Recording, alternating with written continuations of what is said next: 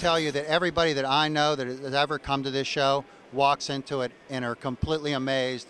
Their mouth drops, their eyes open, and they go, wow, I never realized racing was this big or the trade industry involved with racing was this big.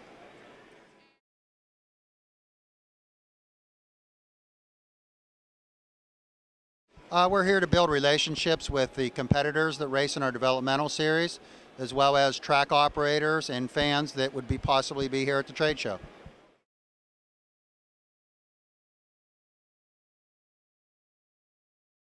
It's actually invaluable, okay, from our perspective. It's some place that we really need to be.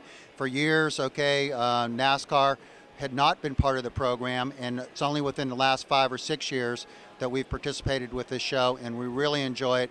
And absolutely, moving forward, we will continue to be part of this program.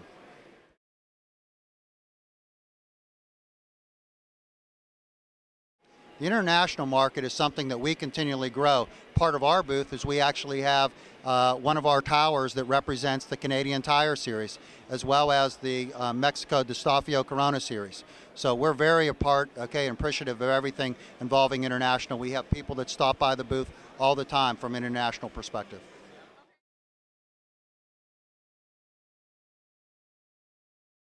NASCAR knows that the future of tomorrow's stars will probably be walking through the aisleways right here at this trade show. So we want to embrace them and let them know about our developmental series. From the weekly racing series car you see here to our developmental series. We want them to know about NASCAR, and that's the reason why we're here, because we know the future stars of NASCAR will be coming up through this trade show and through the racing programs of you know across America. The PRI trade show, you can't miss it.